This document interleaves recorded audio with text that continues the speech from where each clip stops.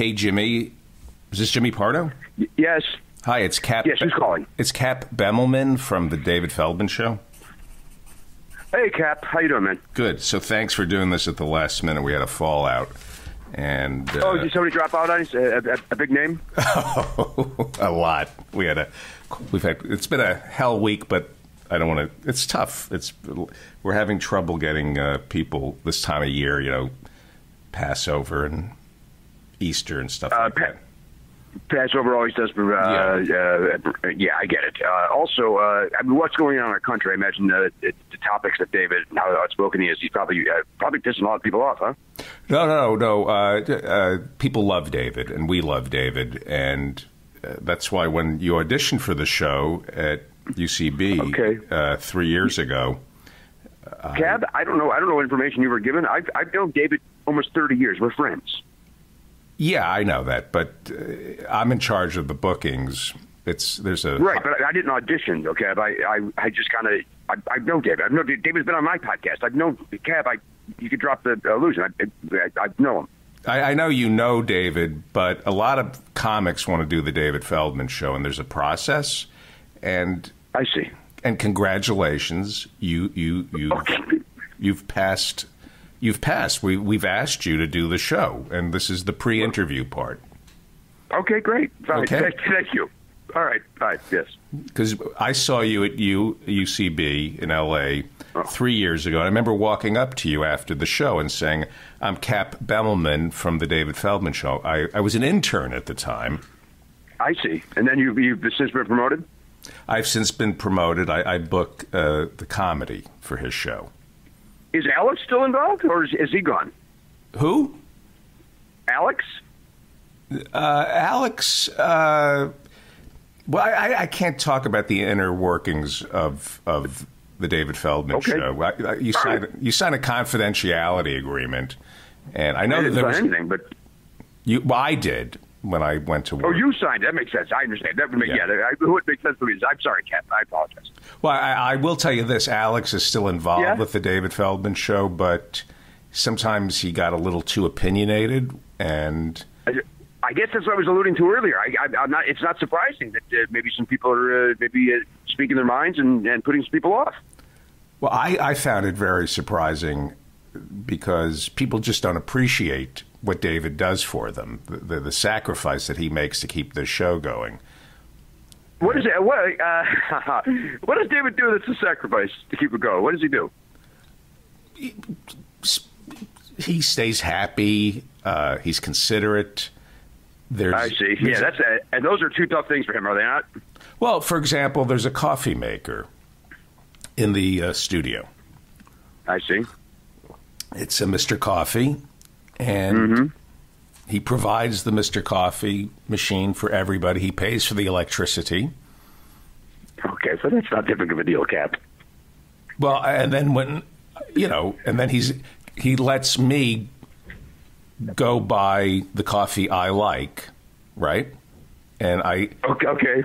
and I get to make my own coffee and drink the coffee that I like in the studio. And then the other people complain because I have to buy the coffee. Like he doesn't reimburse me for the coffee, but he's letting me choose the coffee that's in the studio. Wow, great guy, huh? I think so. I mean, I I've learned everything from him. I don't think David's not a great guy, but what you just described is just kind of uh, being a person. That's not really uh, all that big of a deal. I don't. I, I don't think.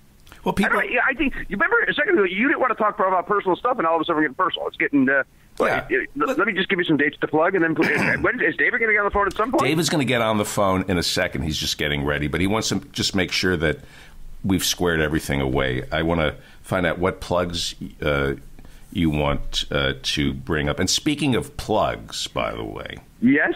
Yeah. on the last show that you did, you Yeah. re- you referenced David's hair plugs. There's some story. There's some bad blood between the two of you, and he's wondering if you're going to bring up the plugs because he really doesn't. I won't bring it up if he doesn't want me to bring it up. And, and the truth is, I was asking for. I, I was just making conversation with him about it. And he, um, if there's bad blood, that's new to me. So maybe this will be like Mark Maron. Maybe he'll uh, he'll say, uh, "We good, bro," or whatever the hell Mark says at the end of his uh, interviews. Uh, but I think it'll be like that then. If, if David's upset, have him bring it up, and we can talk about it on the show. I'm more than I'm more than happy to talk about. it. Well, uh, David mentioned this to me. Uh, apparently, the first time you did the show, Yeah, it was at the Fake Gallery in Los Angeles, and David has it always was a been, live show. Yeah. yeah, and David has always been open about his hair transplants. Do you remember? Well, he kind of has to be, don't you think? Yeah, that, that's the thing right there. That that's the thing right there. That What what do you, what do you mean? Well, he had said something to the effect. Uh, you had asked, uh, "Who did your hair transplants?" I, there was a time I was considering transplants, and and uh, and quite frankly, David, uh, I know he had been uh, he had spoken about how he thought his looked horrible. I don't think he's alone in that opinion, Yeah. and so I wanted to make sure I didn't go to the same guy. So then I said to him one night at the at the world famous improvisation on Melrose Avenue, I said, David. Uh, who did you go to for the transplant? I know you're talking about the transplant. Who'd you go to? And He goes, Oh, you don't want to go to my guy, and then walked away. It was like, You're damn right I don't want to go to your guy, but I want to know who that is. I'm going to avoid him. Right, and then you did that on his live podcast. It's a live show, yeah. And so here's the problem. David thought it was false humility about the hair transplants. What he was basically saying is, "Oh, you don't want to go to my guy." According, according to David, I, I mean, I'm just I'm, when he said that that was false humility, he was kind of saying he was kind of fishing for you to say, "No, actually, they look pretty good." But Oh it- Jesus! Did I drop the ball on this then? yeah, yeah, yeah. Oh God! All right, you know what? I understand the bad blood. Then that makes my that this is making more sense to me. Okay. Uh, but I, I guess I thought because he hadn't stage talked about how unhappy he was with it and about how his guy screwed up his head and how he looks the worst he's ever looked in his life. I guess I thought that he was had a sense of humor about it and that he'd be very helpful. But I, I all right, I put my foot in my mouth. But does he know now that they look horrible, or is he still living a lie? Cap? oh, is that that? Is that some, is that some of that coffee? So one of the things that we're going to ask you to do. Uh, That, uh, you you can't talk about the coffee anymore. All right, go ahead. One of the things we're going to ask you to do is uh, Uh-huh. sometimes your eyes, when you're talking to David, they lift above the ridge of his nose. When you're talking to him, your eyes kind of go up the forehead to the hairline. And. And when da- uh, David feels that you're doing that to to better him, that he would like you to make eye contact, and then when the eye contact eases off, he is specifically requesting that your eyes drift downward, away from the hair, uh, away from the hairline. Can you do that? Okay, I can. I I should remind you we're on the telephone for the Uh-huh. interview, but uh, uh, but the next time I see David, I'll certainly keep uh, those notes in mind. But as of today, we're just going to be on the telephone. My eyes are probably just going to be looking out the window here. I'm in Cincinnati, Cap, and I'm going to be looking out the window here uh, Right. at my hotel room. Uh, the uh, beautiful sights. Okay, and uh, a couple of other things that he just wants to go over, and then we'll then we'll start the interview. Because hey, and by the way, congratulations! You got on the show. Yeah, what? You got it. Yes, you thank did you, it. Yeah, I did, Cap. Yeah, thank you. I mean, this is Uh, you know. Did you call your parents to tell them you're doing the show, or do you want to see I how it not. goes? Do you want to see how it goes first? You know what? I, I kind of like my parents to be surprised when they see the podcast, like when, I, when it pops up, like when I when I tweet about it or when I put it on Facebook. Then they get to experience for the first time, like it's a new experience for them, and they're not anticipating anything. I, I don't like them to certainly being lucky enough to be on David's. Uh, I don't want them to be uh, excited and then let down. So I just want them to you know see it and then go, hey, look at that, and then listen to it. So that's that's the game plan there. Yeah, I, what I like to do is have certain guys who I call at the last minute because if I say, okay, you're officially booked on the David Feldman show in three months, Right. you're going to go crazy for three months and you're going to be nervous and you're going to over. Sure. It- it- right? Well, I think I think that I think that is the case. It's, al- it's always when you do standing up comedy on, on television. If you if you get called uh, on Thursday before, like, hey, we're going to be on next Wednesday, uh, even that's a little bit tense because you have that many days to think about. Oh, my set, oh my set, oh my set.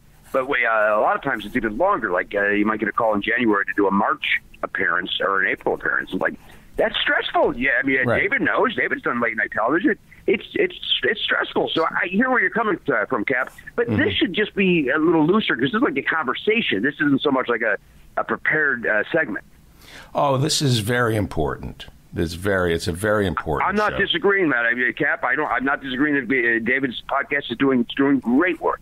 It's a, it's a, if I may, it's the podcast of John Oliver and Samantha Bee, and to a lesser extent, Trevor Noah. It's very similar to what that, that's a, sort of vibe uh, through the eyes of a, of a misfit. I think that's what really what it comes down to. Don't you think?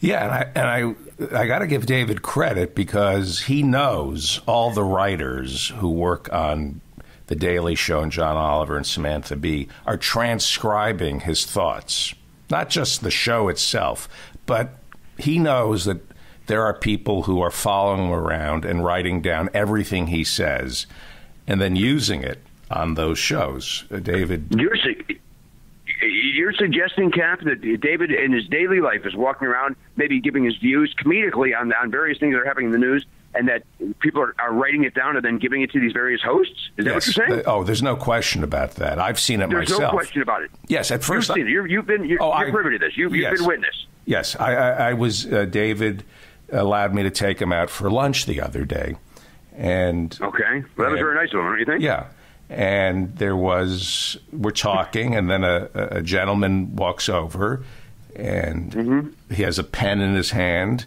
and this little pad. And like a reporter would, that sort of thing. Yeah, and he says, uh, and you know, he tries, he, you know, he tries to trick us. He goes, you know, do you see anything on the menu you like? And I'm, you know, and David knows this guy. Come on, this guy is just standing over us, writing down every bon mot that comes out of Feldman's mouth and sending Jesus it. He was he, he was looming over you. He was looming over us. We're just trying to drink some water. And I see. All you have at this point is water. You haven't even you don't, you don't even have your food. This guy's looming over you, pressing you for questions. Yeah, and there's a like you know there's a menu, and then David's pontificating about Trump Right. and the Supreme Court decision, and this guy's just Mm-hmm. standing over us with a, He's waiting and listening. every hanging on every word with a pad and a and, and, a pen. And you know he tries to suck up to David. You know, is there anything on the menu you like? And David saw right through it, and he and he Of course he did. David's not a dumb man. He saw. Of course he saw right through this. yeah. So he said, "Who you with? Samantha Bee, Uh huh. John what did the guy Oliver?" And the guy the guy walked away, and then he kept coming back. It was like he was shameless. He kept coming back. So Is that right? What what, what made him Cap? What made him finally go away? Because I have a theory on this. Was it when he eventually did you when did you guys bring up food? Did he then eventually go away? Uh, it it uh, well, what we when I go out to lunch with David, what we do is we order hot water, and Okay. and then he makes me uh, look for plates that he doesn't like to waste food. Is what he doesn't. He he I thinks you if you've listened to his show, he talks Can't. about. I can't. But go ahead. Oh, you don't have a computer or a phone? I don't agree with a lot of what David says. Uh, it is between you and I, Cap. I bet. Uh, you know, I don't know. I mean, relax, man. That's what I think. I think relax. Yeah. Enjoy life a little bit more. But he's so f intense all the time. It's a, it's a hard listen. I you know so I listen to you know I, I don't listen to a lot of podcasts because I have one of my own, but I, I listen to like uh you know uh, This American Life or Serial or you know S Town's very popular right now. I listen to those. Yeah. uh, those are nice, uh, relaxing, light fare. Whereas Yeah. David's is everything's tense. The world's crumbling. I'm a bad guy. I'm a Jew. Blah blah blah. You know what I mean? Yeah. I mean that gets that gets tiring. Yeah, it gets tiring for that's what people say, but yet they just steal everything from him. You really believe that? Oh, Boy, my I mean, I God. mean, you're witness to it. You saw it there at the restaurant. I understand. Oh, my But they don't. I don't know. What, not stealing. I mean, David. Listen, he does, does he have trophies? Of course he does. He's a terrific writer. I have emails that are so well written that these deserve awards. But I don't know if anybody's stealing. But I mean, you know better than I do, Cap. I apologize. Well, I mean, I, David would kill me. He would kill me if I brought this up because it doesn't bother him.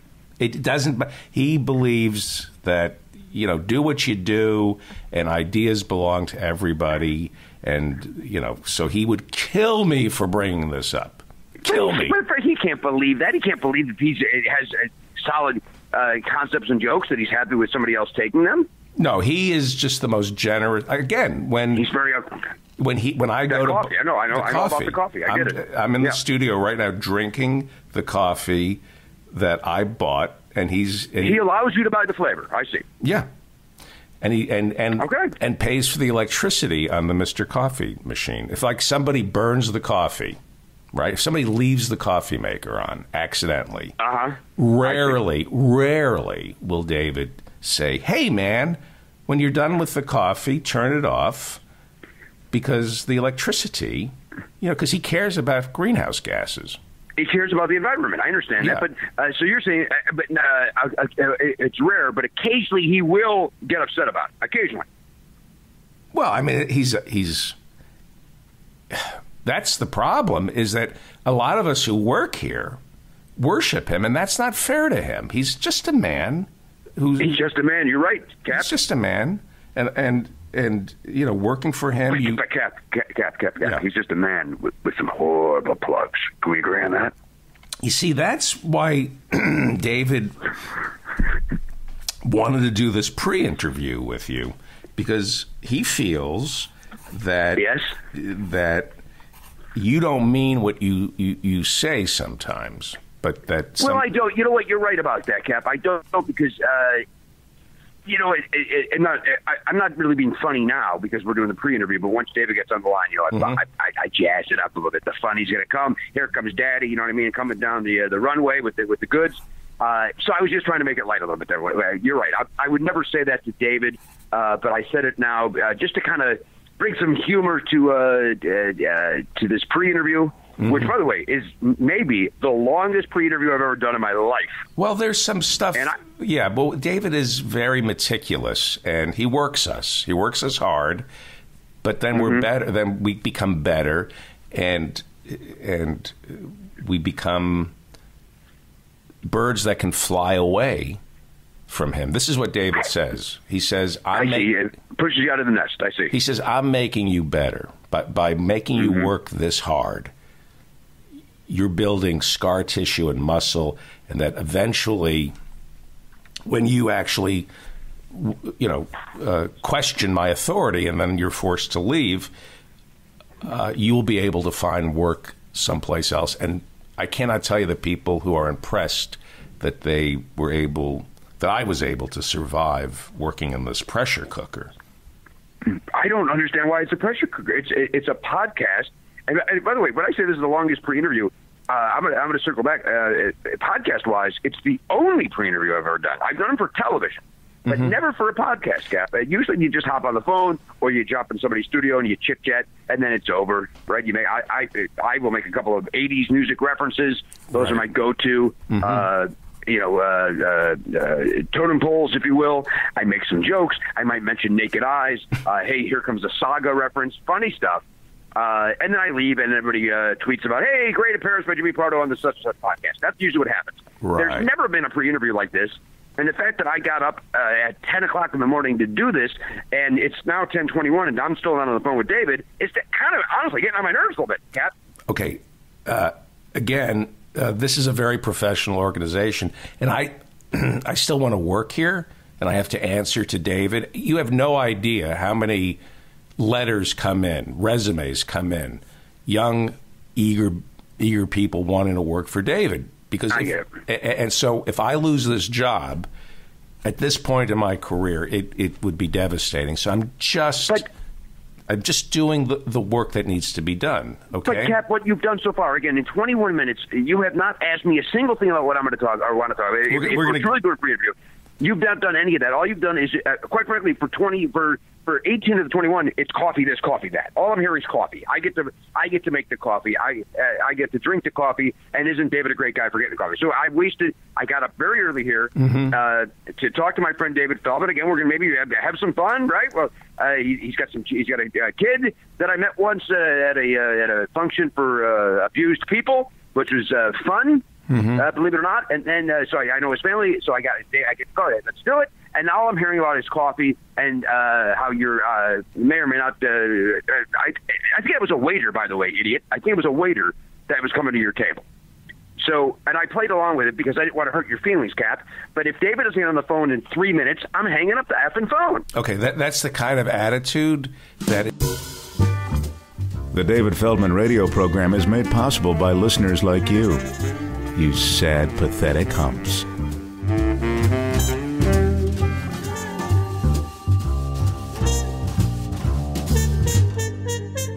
Hey, we're back. We're recording. Who's this? it's Feldman. Hey, David. All right. So, you know, I believe in God, and I get a lot of. Oh. I do believe in God. And if you don't Okay, believe okay. in God, or if you don't believe in the universe, you're not paying attention. Tell everybody what just happened. We're we're this we're rolling. So tell everybody because it was unbelievable.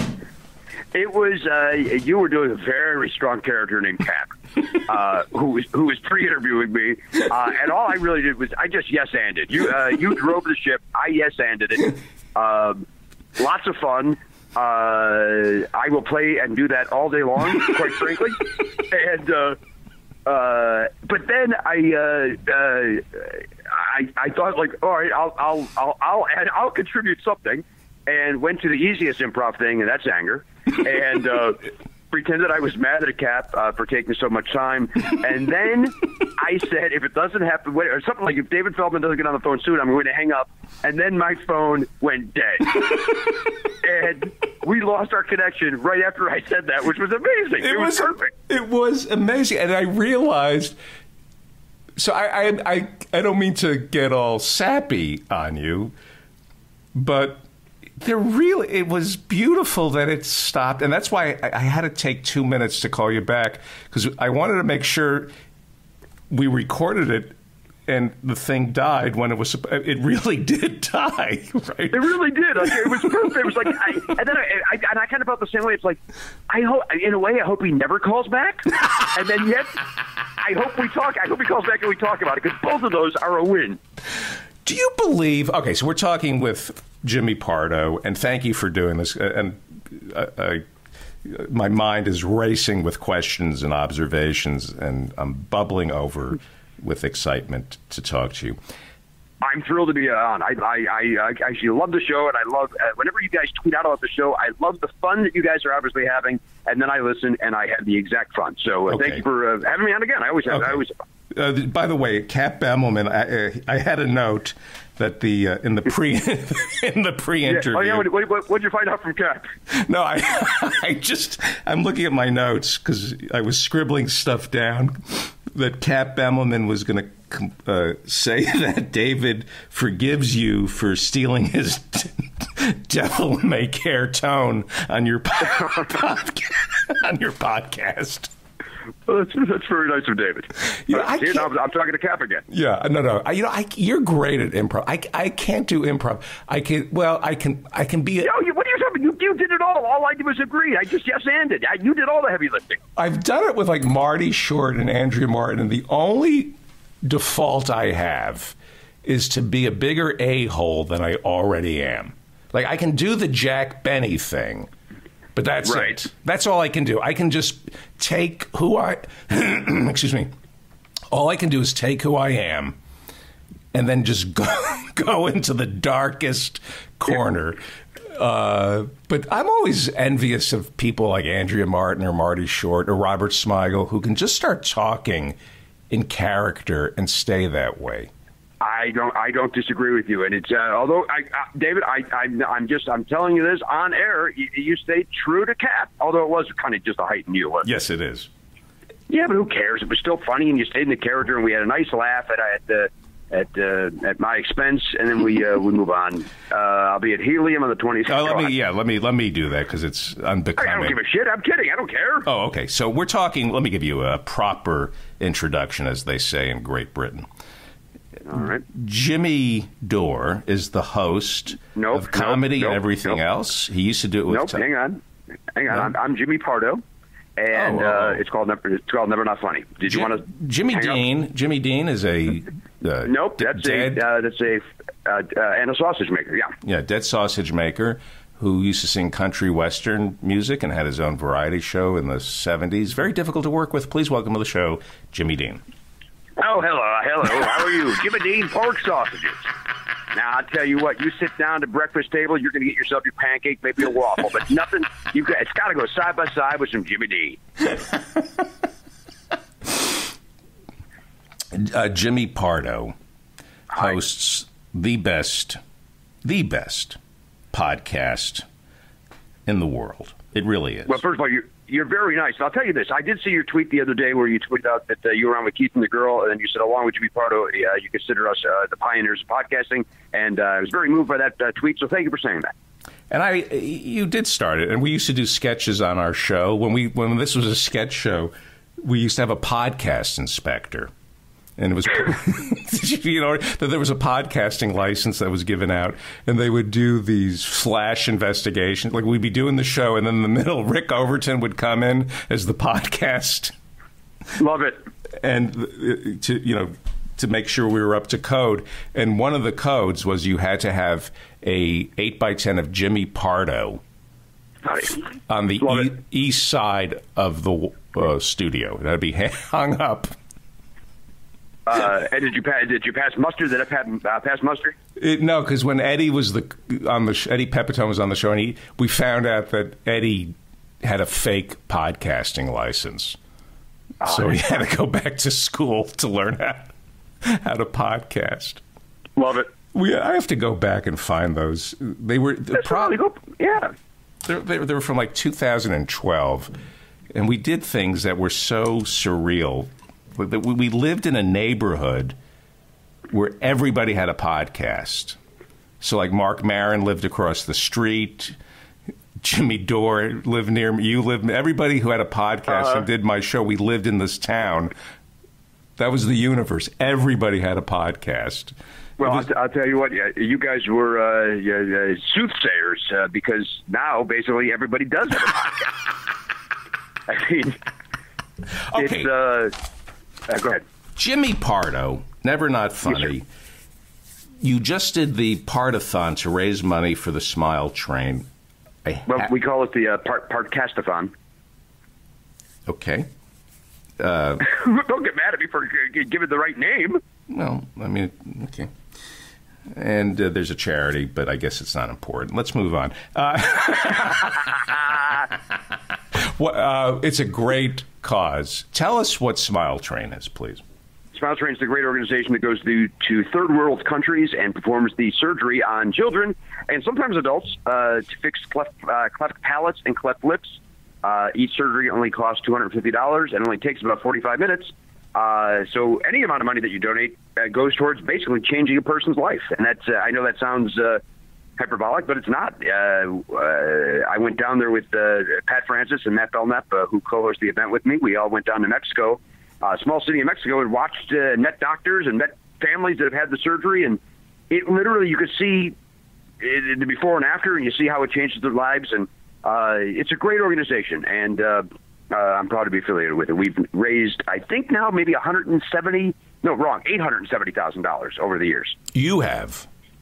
Uh, Never Not Funny alone has raised like yeah like uh, close. I think we're close to nine hundred thousand dollars now. Yeah. Uh, in all seriousness, that's amazing.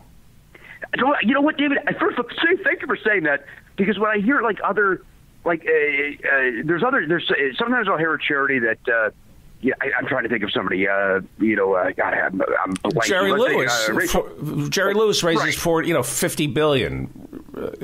I know what you're. Uh, go so, ahead so yeah, right. So I hear that. I hear like uh, Jerry Lewis raises fifty million. Like, oh, Jesus, I, I only raised one hundred fifty thousand this year. But then I hear like other people, like White Sox charities, are excited to announce we raised seventy thousand dollars over the weekend. Like, well, I raised more than the White Sox. That's amazing. So I think it's uh, it's the one thing. It's honest to God, other than my son, it's it's the thing I'm most proud of because we just grassrooted it and.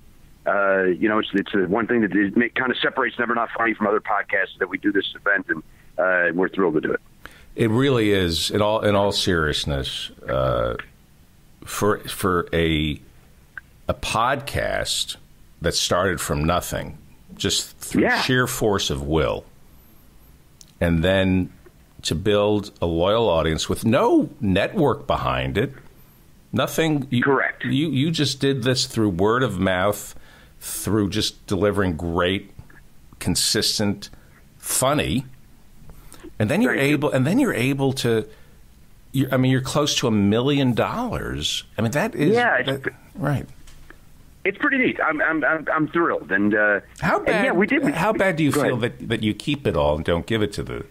That's I easy. feel a little bad, but only when it's brought up. Otherwise, I'm kind of fine with it. I I mean, you know, daddy's got to eat. Daddy's- So, yeah. You know, uh, you know, we show the video of the children. You know, uh, the before and after. We always show whenever we do the program. We show the children, and I get a little tense during that because, like, oh, they're going to see me for the fraud that I am. but then it, when it's over, and I say today we raised one hundred seventy-eight thousand, that feels good to then look at your bank account the next morning. It feels very good.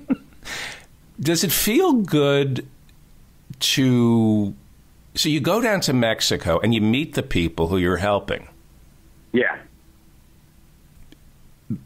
Do you mind if I ask is, you? Is there, what- is, is there a question on that? Or yeah, did, did yes, you I've done that. did you pick the Smile Train because you're a comedian and you feel you can't believe that people can't smile? I mean, I'm being serious. Is that No, you, you know what's it's it's it's funny you say that because there's a quote on the Smile Train website that you know uh, uh, where I say something like it makes sense that you know uh, that I'm that, that we have this association with Smile Train because we're both in the business of putting smiles on people's faces, um, which is a little schmaltzy, but it's kind of true.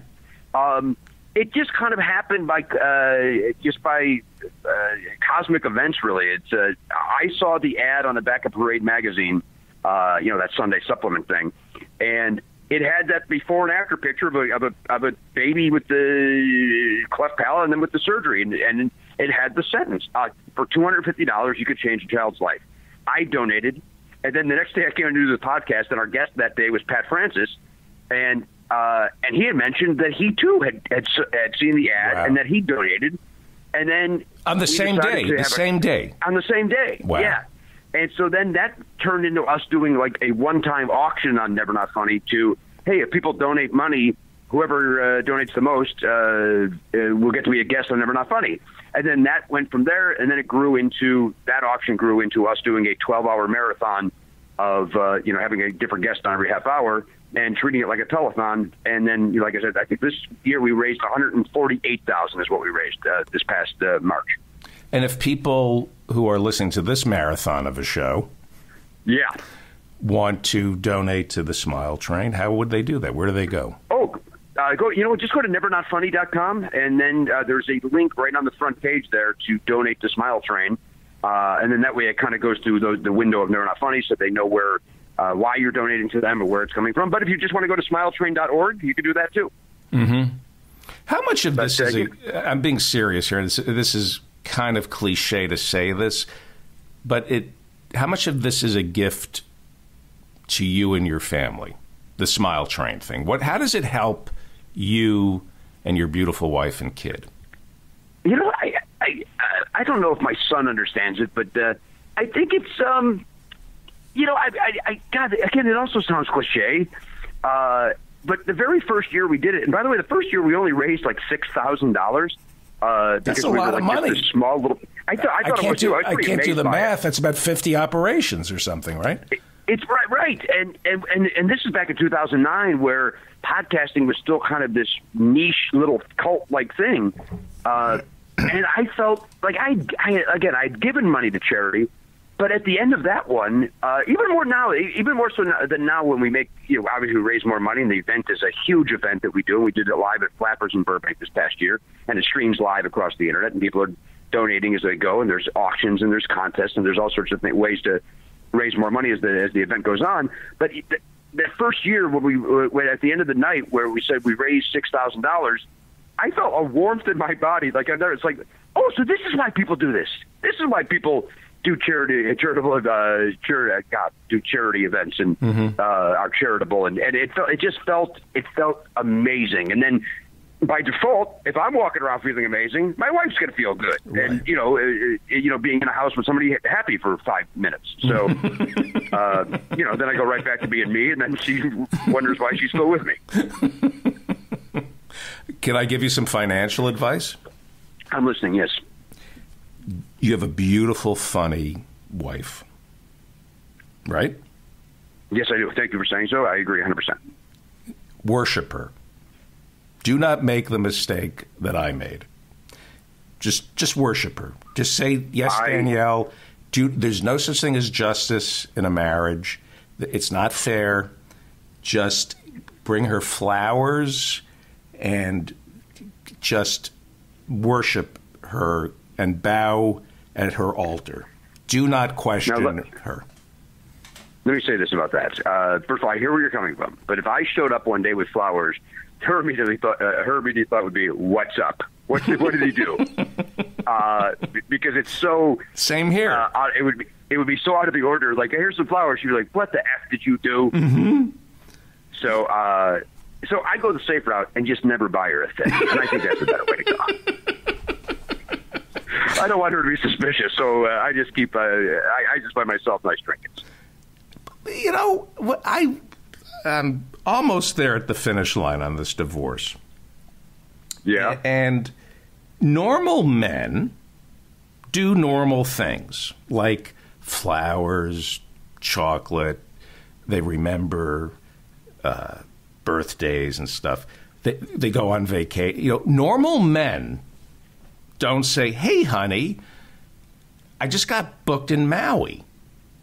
Why don't you come with me, and that'll be your vacation?" Right. and normal women who are married no woman no normal woman is going to say hey uh, i'm going to go to hawaii for a week. My husband is playing there and we'll get to hang out. Of course he'll be nervous all day going over material. He, will- he'll be distant and thinking about the show, but I'll get to stay in a relatively nice hotel. But then when I want to do something fun, he'll say, you know, e- easy for you, but I'm here on business. And that will be my vacation. Most women don't Right. put up with that. You know, it's so funny that you say that because for you know, I I spent so many years traveling as a comic, and you know, as we all did, you know, and you know, basically living out of my car. And so, like when like the Bob and Tom radio show took uh, took me down to the Bahamas, like uh, four, I think it was four years in a row, and Danielle came with me, and it was like, well, here's our vacation, and but it was exactly what you just described. It was like. Well, our vacation consists of getting up at six in the morning to do this radio show for four hours, and then stressed out the whole day about when am I going to sleep because I got to get up at four o'clock in the morning again the next day. So uh, to do the radio. So you're exactly right. That was our first vacations were that. So then when we had our honeymoon, it was the first time ever that I was doing something travel wise for a week that I didn't have to do a show and I didn't have to get up in the morning and I didn't have to worry about anything. And David, I didn't know how to effing handle it. I literally had a nervous breakdown the first night of our honeymoon. It was crazy. I, I'm not even. I'm not, I say it comedically, but I'm not. I'm not. I'm, I'm serious. I really was like. She's like, "What's going on with you?" I said, "I don't know what to do right now. What, do we just relax?" It was crazy. Yeah, and you really are a, a, an animal when it comes to the stand up and the performing. So. Um, I, I certainly was back then. I mean, you know, I've been married now since 2004. Uh, you know, back in those days, I was probably traveling 20 weeks a year, and now I've got I've gotten it down to maybe, you know I've got it down to maybe 12 weekends a, a year, maybe a little bit more than that this year. But yes, I and then there was a time it was 48 to 50 weeks out of the year that I would travel. So. Uh, yeah, when I took that, when I had that honeymoon and it was just a week of nothing, it was. And remember, by the end of it, I actually said to her, "Now I understand why people look forward to their vacations. I get this. Oh my God, what a joy it is to not worry about stuff." Yeah, you know what? I just remembered this. It, it, uh, we I was married in 1990, and I didn't know. I we went to London for a week because I had a Uh-huh. I had Catch a Rising Star in Vegas the following week. I could there was some kind of deal on the honeymoon where we could have gone for two weeks and it would have been like the same price. But I, I had to go back. You know, I, I was booked in Vegas. I had to take. Uh, I probably lost money. You know, but any. But anyway, but the point I'm making is I just remembered this. In order to go into honeymoon mode and vacation mode, I wore a necktie every day. I got up. I don't know why I did this, but I would we would get up and wherever we went, I put on a necktie. Uh, no shirt, What? just a neck. No. just walking around like, uh, like well, I guess Fred Flintstone has a, a smock or something on. But go ahead.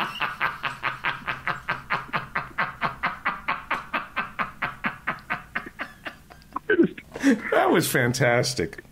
But, you know, the greatest laugh in the world. I love it. That was I fantastic. You know what I loved about that is you you had the joke and you were correct, Uh-huh.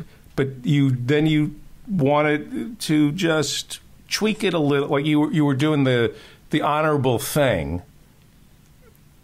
just to, fi- I, you know, I'm aware that there was a smock involved, but for the most part, you look like Fred Fuller. Anyway, Right, right, right. Yeah. yeah, it was great. So yeah, I put on a so tie. So you put the tie on.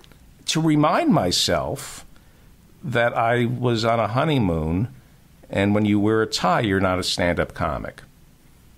You know what? though? I mean, listen, it, it, it, it's the opposite of anybody else. If, if somebody's a businessman, they wear a tie all day long. They, they Yeah. want to go out and not wear a tie. It kind of makes sense. Like, put you know, make your life a little bit different so that you can relax and not be in stand-up mode or you know, writer mode, whatever the mode you want to mm-hmm. be in. There, I Yeah, I get it. in religion they're called phylacteries. You wear certain things s- to remind yourself that you're not of this dimension.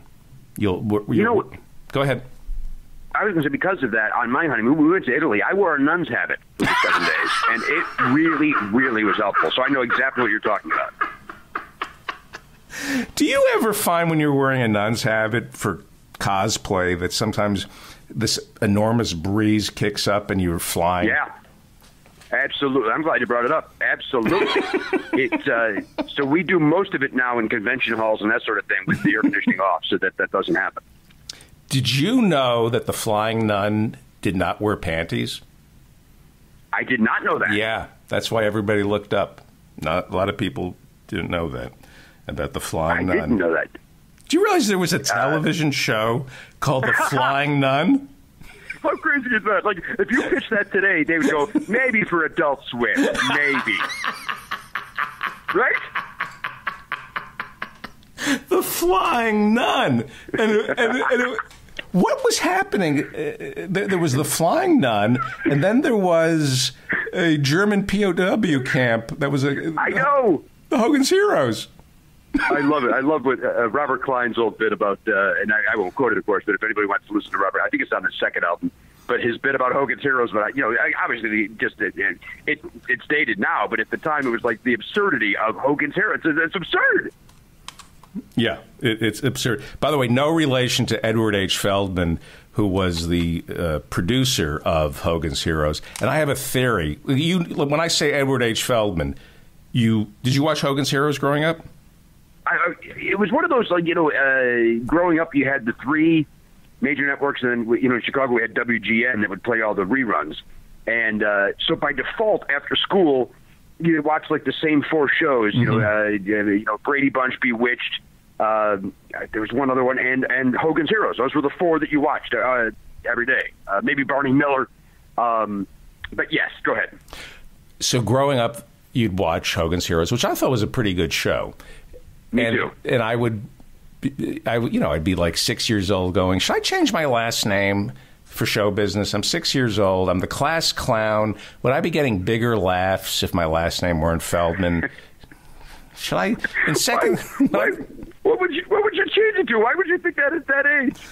I, I mean, I'm doing well as a class clown. First grade, I think I'm the funniest kid in the room. But if I, when I go to second grade, should I change it to Fields or, Uh-huh. you know, use my middle name, Gregory? Should I be like Gregory David? Maybe I can really, because it's going to get more competitive in the second grade with this class clown. thing. Absolutely. So I'd be Uh-huh. wa- so I'd be watching Hogan's Heroes, and I'd see executive producer Edward H. Feldman, and I thought, oh, Feldman is an okay name for show business. And then my sister explained to me because we'd be watching it together. She'd say, "Look how they hold on Edward H. Feldman at the beginning of Hogan's Heroes. Why do you think they're doing that?" Interesting. And I go, I don't know. She said, because they want to indemnify themselves. They're using the Feldman name uh, at the top of Hogan's Heroes to say the Jews approve of this. And she said, he probably doesn't even do anything for Hogan's Heroes. He probably doesn't even exist. So change your name because there's a guy named Michael Andriozzi who's coming up real fast in the second grade, and he might end up beating you as class clown, but I didn't change my name. How did Andriozzi do? I it was tough. Michael Andriozzi, very funny guy. Uh, I, I, I, I He was, refused. he was seven. Was he really funny? Is he Yeah, he still funny? Do you know anything about. Andriozzi now? Andriozzi was hysterical. Had a gentler sense of humor. It was very like mine was very biting in the second grade, and I was more of a bully, and he had a Yeah. he had a silliness to him, and uh, he won. He won second grade. I should have changed know, my name. funny- I should have changed my name. I think the name hurt you. I think Yeah. I think to this day it hurt you.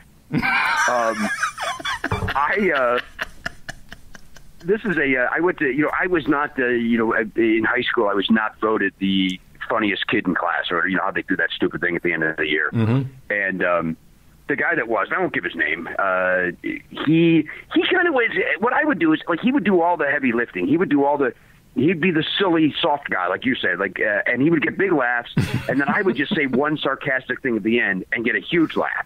But nobody remembered that because they all remember, you know, this kid being up on the desk with a, with a crazy hat on. So, um,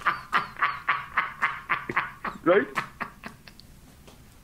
Go on. so recently, uh, recently a guy came to my show. I was working in Chicago, and a guy, a guy came up to uh, came up to me afterwards. He goes, "Hey, I just ran into so and so, or I just ran into a guy that you went to high school with." And I said, uh, uh, he said he went to Oak Forest High School, and I said, "Oh, you, you probably know Jimmy Pardo then? Uh, he's my favorite comedian." And the guy goes, "Yeah, he wasn't even funny in high school. So and so is the funniest guy." Like, listen, F you really? In, in 2017, you're still holding some weird grudge about this? Wow. Jesus. Like, and by the way, make no mistake, I was funnier. There's obvious I was funnier. Of course. He- Of course, right? Uh, That's not to say this guy wasn't funny. He was funny. He was funny, but he's not funny. So you were you were the class clown, and did you when there, when you went home at the end of the day, if you got a big laugh, did you remember it? Did you did you Um, remember the feeling of getting the laugh in the classroom and it kind of Well, yeah, because uh, again, this guy would do all he'd do all the work, and then I would just be a sarcastic a hole, and then you know my friends and I, uh, because I wasn't one of the popular kids, this guy was. We would then talk about it like, "Oh man, that was great when you said that line. You got that joke in, and you know that was great." And then yeah, and then of course I probably would go, "Yeah, but that doesn't matter. They still don't want to be friends with me. They still don't want to be let me be one of the popular kids." Like I'm sure they immediately went to that, and then instead of just enjoying the fact that I had great friends around me.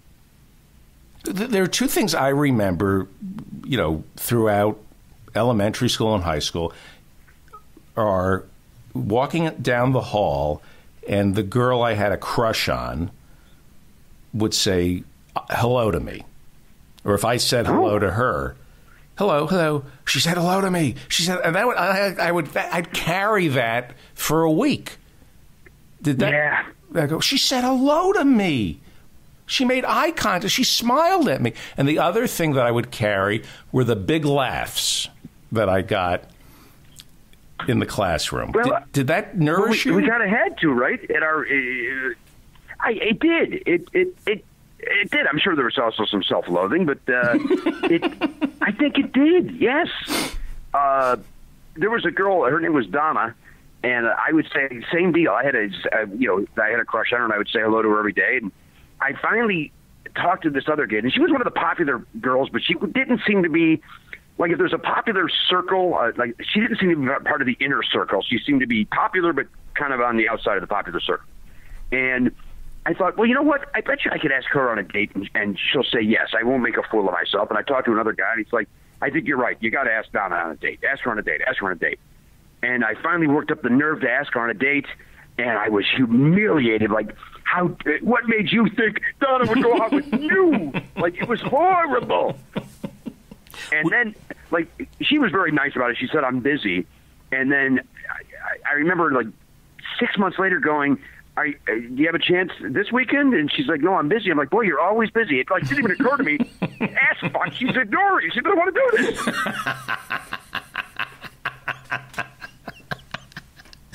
I hate Yeah, to bring I'm up stupid. I hate to bring up Rodney, but I'm I'm obsessed with Rodney right now. And he's asking Sally Kellerman out and back to school. Yeah. Remember the line? I don't, but go ahead. She's a professor. He says, "Hey, what do what do you say you go out tonight?" She says, "I have a class." Well, why don't we have uh, a date tomorrow? I have another class. Hmm. Why don't you call me when you have when you have no class? Love it. Uh, yeah. Have, have you? uh, go ahead. I'm sorry. You go ahead. I was going to ask you. Have you ever heard Robert Klein's story about uh, going out on a uh, on a boat with Rodney? Drowning. Yeah. It's the greatest. It's the greatest. Yeah. That's the great. Love it. Go on. Don Rickles. Yes. Right. I've been suffering from this. Although you go on YouTube, good God, I, I watched him at Reagan's second inaugural on YouTube the other night after he died. Uh-huh. Good God, was he funny? I mean, it was. It- he had a tremendous influence on you. He did. He was one of the. Um, uh, you know, I, I put it on Facebook the other day that there was three, but there's actually four. It was Johnny Carson, Richard Lewis, Don Rickles, and Robert Klein are the four that uh, really I think influenced me overall. Uh, but you know, Rickles is the one that bleeds through the most. Um, uh, because I do the crowd work and I, you know, I, I got the false bluster and, um, uh, you know, obviously I'm not Don Rickles. I'm not doing the same thing as Don, but I can understand people saying, "Boy, you're like Don Rickles," and because it's, I, I, I'd be a fool to deny it. Um, but I felt like when, when I always would make fun of people eh, eh, unfairly when they would say, uh, y- you know, uh, Mickey Mantle died and I cried. It was like you, you don't even know the guy. You cried. What hell are you talking about? Uh, but when the news came over the internet the other day that Don Rickles had passed away, my eyes, I immediately had tears in my eyes, and I just was like, I texted my wife. I said, Don Rickles passed away. I'm, I'm kind of shaking about it. Like, he was a guy like that. You and I both, we, we've been watching this guy since we were a kid, mm-hmm. and being influenced by him, and and and, and because we you and I both have a, a more biting style. And I guess if you just like, I'm not saying we're special, but you know, you relate to what Don did and the, the chances that he took, and you know, there were times like I, I did the same thing as you. I went down that wormhole of YouTube clips, and I'm, I'm watching him with, you know, Sinatra and Carson, and he's not really getting laughs, even Rickles, but Mm-hmm. he's being hysterical, you know. Um, What do you mean he's It- not? it- getting it- this is, hang on for one second. Hang on. For, this is really important to Go. me.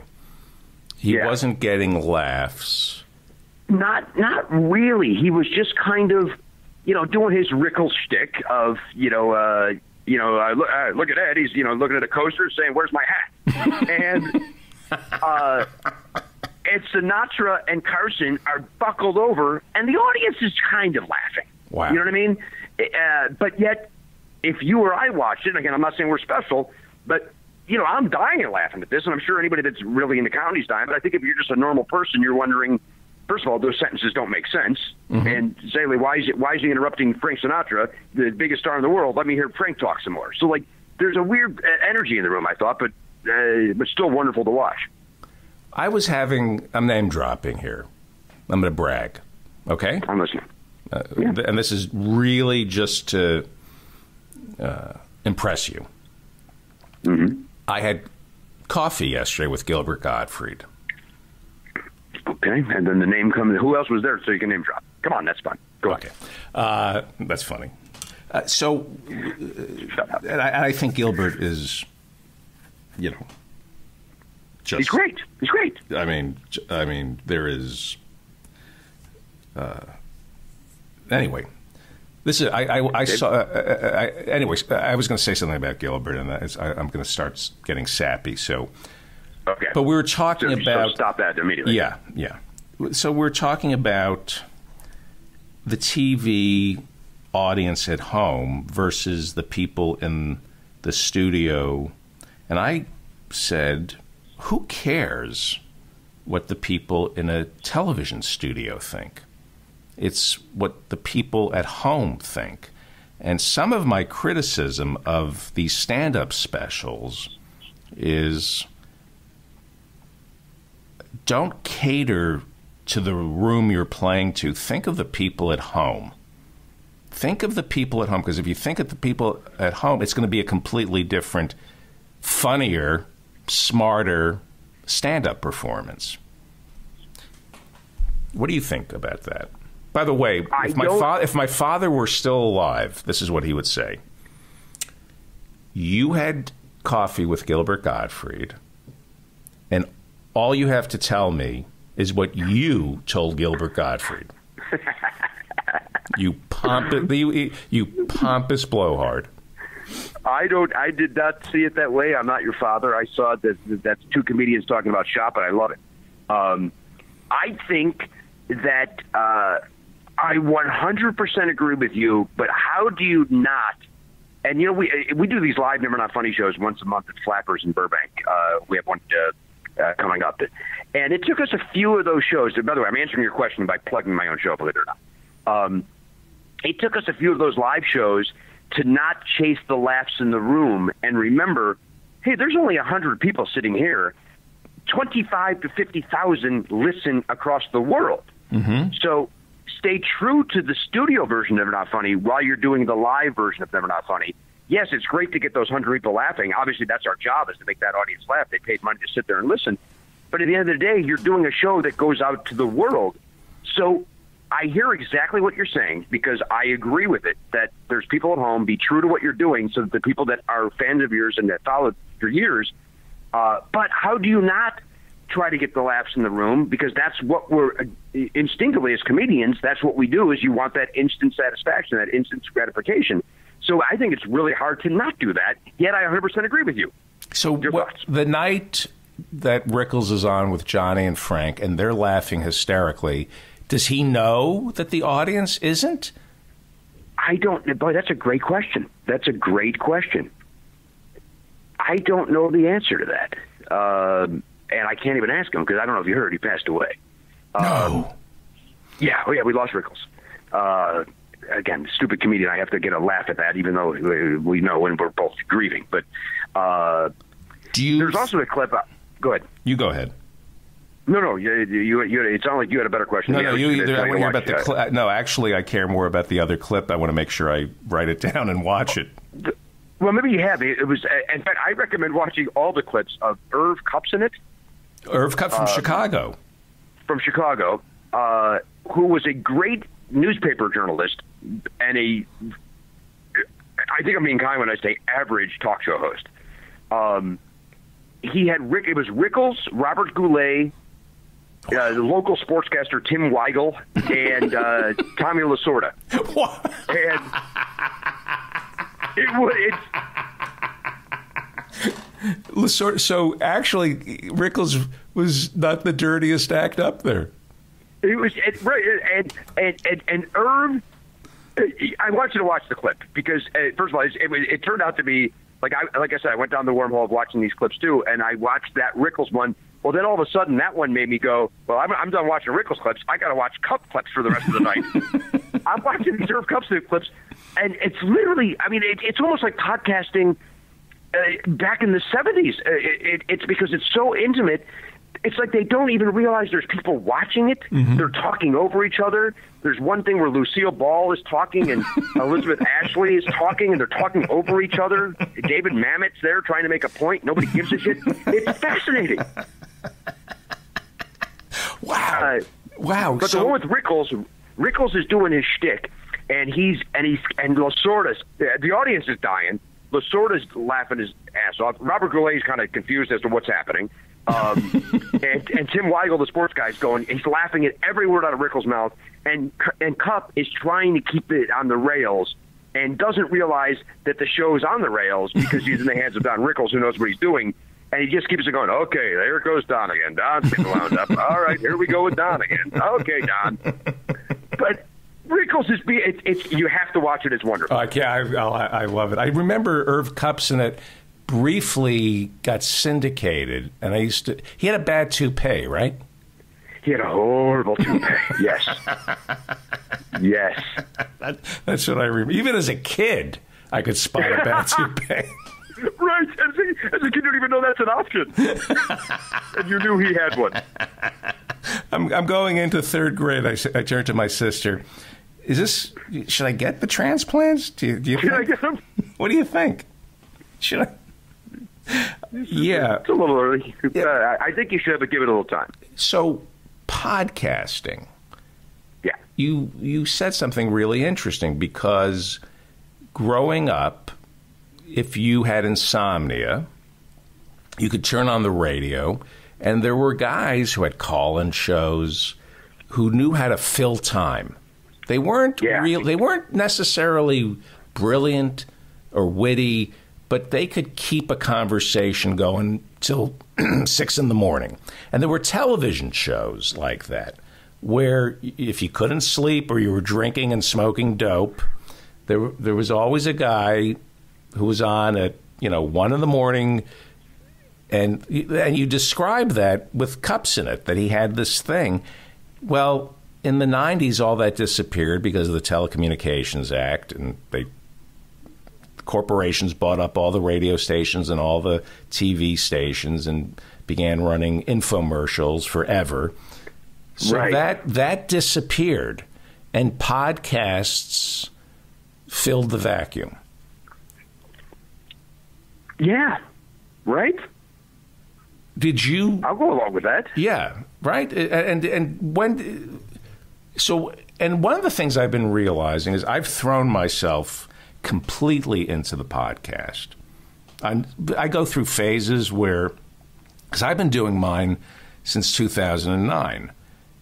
I know it's hard for you to believe this, but I'm I'm one of the early guys. I know. I, I know you are. That's what's weird. It's like I've been doing it since 2006, but I was so, and, and like you mentioned, Keith and the girl, and uh, you know, there were a few of us that were doing it that early, but it really was. It, it didn't take off until 2012 or whatever. But mm-hmm. so the 2009 is still pretty early.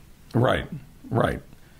And a couple of things is I go through periods where I really throw myself into the podcast because I do think it's a medium and an art form in and of itself. For years, and this is I have a question. Okay, this is a question for you. Yeah. Mm-hmm. Did you, when you started, think this is radio, so I'm going to recreate radio?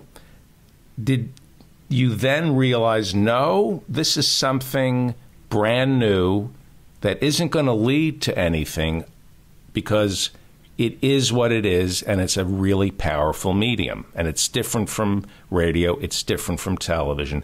Podcasts are eh, are an art form that that are not that are unlike anything else. I think when we started, there's no question that I because it, the podcasts that were out there, other than Ricky Gervais, and I, I had not, I was not familiar with Keith Girl. There was somebody, uh, another one called Dawn and Drew, and uh, and then for the most part, there were there were some other com- comedy ones, but they were mostly tech ones. They they always they all sounded like somebody talking through their microphone on their computer, and I had said if we're going to do this, I want it to sound like it's a radio show. I want it to sound like like you said, like those overnight radio guys. Or you know, I grew up idolizing Steve Dahl and Garry Meier uh, in Chicago. I wanted it to kind of sound like that, where it's just guys talking and conversational. So that was my initial. What I wanted to do is I wanted to replicate radio, uh, talk radio, uh, without the bells and whistles and the, and the sound effects and all that. Which, ironically, here we are 11 years later on my show, and we've added, you know, everything has a drop now. We have drops and we have songs, and it's gone. It's gone exactly what I didn't want to do, but but it's but it happened organically, and it's Right. and it's and it's working. Um, And you, And- your audience grows with you. You're spec- you're And they specific. did. Yeah, Yeah, they did. That's exactly right. So they grew with me. So like, it's not crazy like that. All of a sudden, you know, like I think if we would have come out of the box with with song parodies and dro- and drop-ins and the people are like, what is this? What's this trying? This guy trying to be radio on a podcast for me? That's not going to work. But the fact that it all, like you said, they grew with us and it happened organically. Uh, they saw the transformation. Um, I think, I, I, and I, and to kind of speak to what you said about how we didn't know this was anything, it's not going to lead anywhere.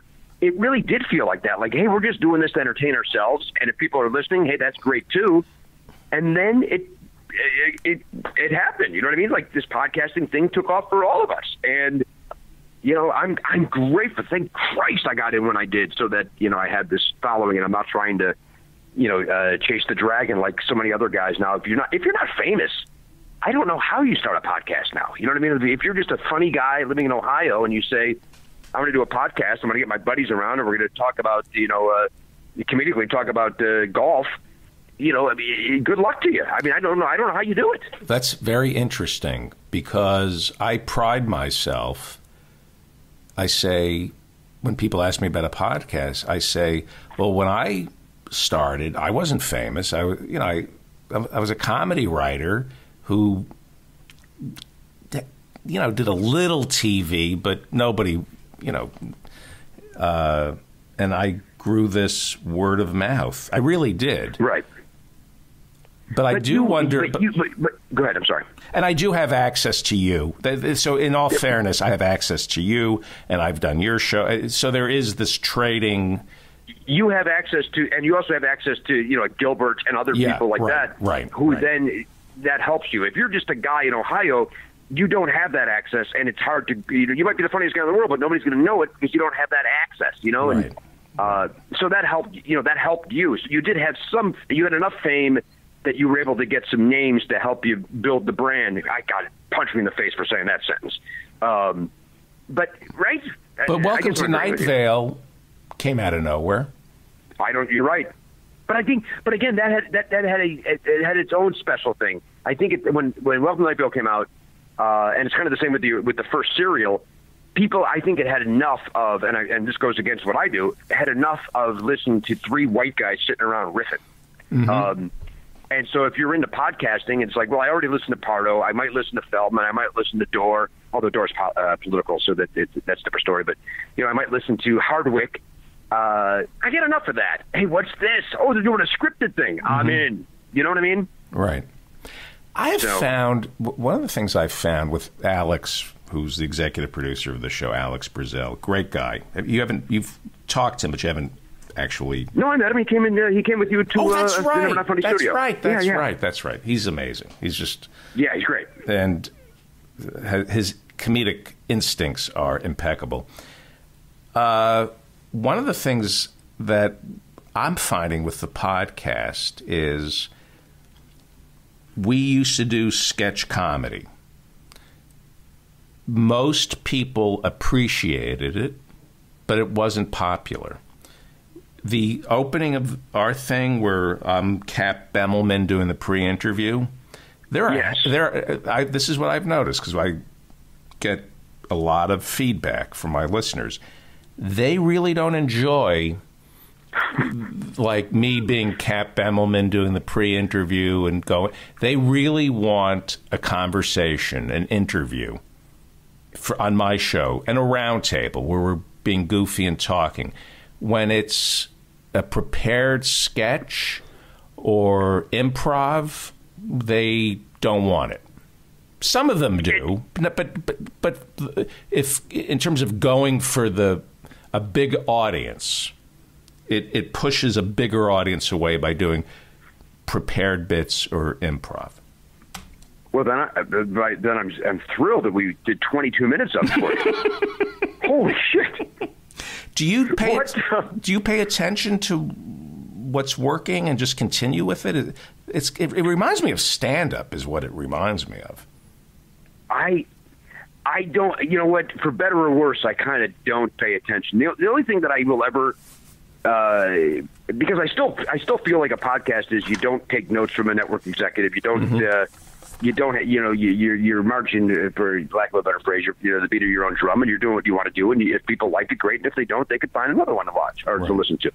Um, but I will listen to if somebody, uh, you know, over the years, you know, uh, certain words have become taboo. Like, you know, like, uh, you know, uh, you know, I grew up uh, as, in a generation where, and I hate, I, I'll, I'll just spell it, F A G, um, where you, it didn't mean anything. It just kind of meant uh, you just called your buddies that on the playground. It didn't mean anything uh, really derogatory. I know that sounds weird to say. Um, but we we started getting enough emails of saying, "Hey, you guys, you're in your 40s. You sound like assholes saying that, Right. Calling each other that name. So maybe you stop doing that." It's like, okay, you know what? I'll, I'll take that note. That's a great note. Or, uh, you know, I, I I would make jokes uh, saying about tranny porn, and I got an email from a guy saying once, or a, a woman. I again, I don't know. I don't know. Uh, I don't know which one was writing me. Um, but they're like, hey, you know, that's kind of like the N word in our in our circles. Like, all right, fair enough. You know what? I don't know that, but that's a great I note. had the I'll same take that note. I had the same experience. Did Go you ahead. really? Yeah, go ahead. No, no, but, but no, but that's it. It's like those. Are, I, I will take those notes. But if somebody who- if somebody writes into me and says, um, hey, I don't really like when you do the uh, celebrity sightings. Uh, you know, it, it, it's a you know it's a waste of time and it's not really fun to play along with.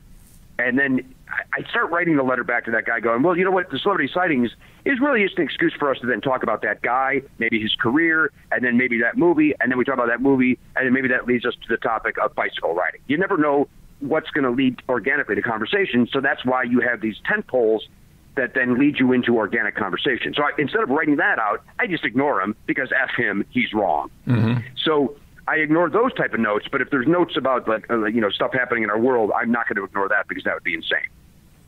Yeah, I love getting feedback from the listeners. I, I treasure it because I need to know what they want. The only problem is sometimes I well sometimes I get some. Uh, I find out who the listeners really are. Right.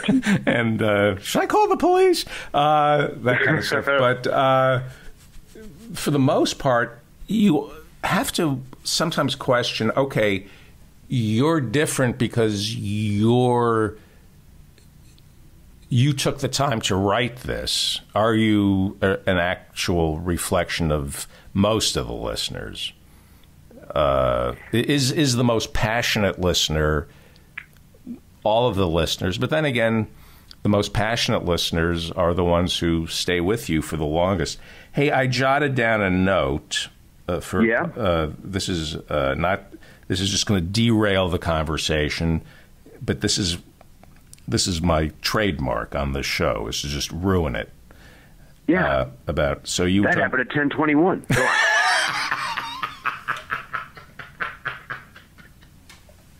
this is uh, you know the first rule of hosting a show is listen focus. If you have something funny to say but you can't squeeze it in move on right? You you don't believe in that? You take a note and go back to it. I, I have a note to go uh-huh. back to something you said and that ruins the show. Because now because we had a nice flow and we were really connecting but I'm just going to grind the show to a just a dead stop and go back to the. Well, I, and I'm glad you are because the, the truth is, uh, we I, I apologize. We have to wrap this up anyway. I know. So you you derailing this is perfect. It brings us back. It stops that nice flow, and then that uh, that way I'm not the guy going, "Hey David, uh, I, I'm enjoying the conversation, but I got to go." So now I'm not the bad guy anymore. It's on you. So uh, uh, instinctively, you're being a great host by not putting the blame on me for this ending. Go on. Right. And by the way, I the, my shows go very long everybody I interview says, hey, I got to go. Which means this show should be hosted by Dulcolax. And I should call the show I Gotta Go. Because everybody, because I, I don't, I, I just go on and on with my guests until they finally say, I gotta go. Or, uh, I, what I want to say is enough. And right, every so wait, wait, what's your, wait, what, what note did you write down? Let's get to that, and then I'm hanging up. Okay.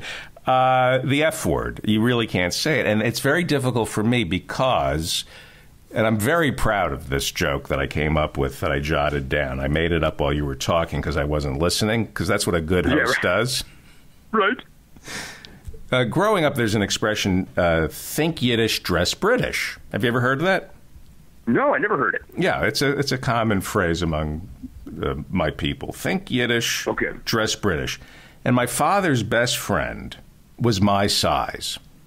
Same exact. I'm, i just made this up, I, uh, but I, it's brilliant, and I'm really proud that. And uh, very elegant. He had all his shirts monogrammed. And when he died, I got all his shirts, and they were monogrammed and his name was Fred Anderson Greenberg. His name was Fred Anderson uh-huh. Greenberg. Yeah. And I now I have 25 Oxford shirts owned by and they're monogrammed owned by a guy named Fred Anderson Greenberg. Now I can't wear them anymore. Uh, Anyway, By the way, I'm laughing. I'm laughing. I don't want you to think I'm, I'm silent. I'm, I'm I'm laughing. I'm enjoying the beat. I'm more importantly, I'm enjoying you repeating it nine times to get the bigger laugh. That's what I'm enjoying. so we've been talking for the past seven hours with Yes. Jimmy Pardo. He will be in Philadelphia on the 22nd at Helium doing a live version of Never Not Funny. And Yes, you it. I want to say it. It's it's it, that's in the afternoon. That's an afternoon show. And then uh, go ahead. You were about to plug the uh, Seattle one. and you will be in Bellevue April 13th, right? At the parlor? Yes. Yeah, at the Parlor Live. Uh, that's a th- that's a Thursday. That's an that's an evening. Never not funny. Uh, say my my uh, co-host Matt Belknap and I will be there doing a live. Never not funny. Uh, in the evening, and then uh, the 22nd is an afternoon show in Philadelphia. And how do people get tickets? You know what? Uh, I think there's a link on nevernotfunny.com uh, to go to the various sites, but I think if uh, you go to uh, parlorlive.com maybe for the Seattle one, or then Helium Philadelphia, uh, they can Google that, and then it brings it right to your uh, to that website. And if people want to donate to Smile Train, Uh, again, smiletrain.org. But if you want to go through the link on our page, uh, that lets them know that we sent you there. Uh, there's a link right on. Um, it sounds like we get a kickback or something. Uh, we don't. it just lets them know that people are, you know, familiar with Smile Train because they're not funny, and kind of just lets them know that uh, the uh, uh, uh, relationship uh, is working. great. Hey, we could have gone six hours straight. I know that. I know. I know. And you got to when you come to LA, you got to come back on our show. Oh, I got so, such great response from that. Thank you so much, buddy.